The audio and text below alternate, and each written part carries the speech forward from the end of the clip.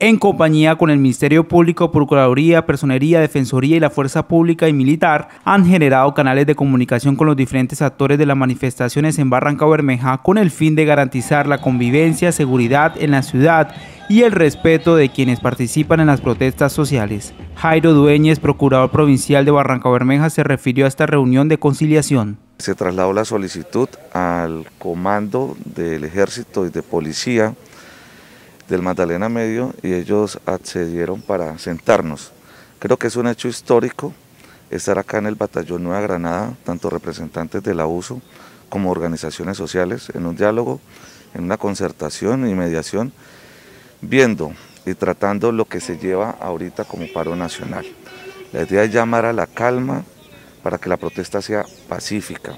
Es un compromiso de todos como colombianos y la Procuraduría Provincial pues propicia este escenario. Jimmy Picón, asesor de paz y convivencia, resaltó el valor de la vida y el respeto en las manifestaciones que se llevan en la ciudad. Barranca Bermeja sigue siendo ejemplo de diálogo, de concertación y de convivencia.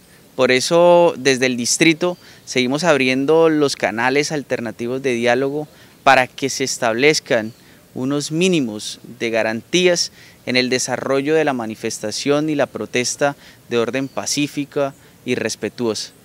Generamos unos encuentros con los diferentes actores, los manifestantes, la fuerza pública, el Ministerio Público, la Alcaldía Distrital, con el ánimo de poder conversar. John Pineda, comisionado de la Unión Sindical Obrera Uso, dio a conocer los puntos principales para la preservación de los derechos humanos. Nuestro propósito principal es exigir la garantía de los mínimos humanitarios para el desarrollo de la protesta social, eh, que va a cumplir un mes en todo el país, pero focalizado en nuestra región, tiene un refuerzo declarado desde la Asamblea Permanente, declarada desde el 25 de mayo.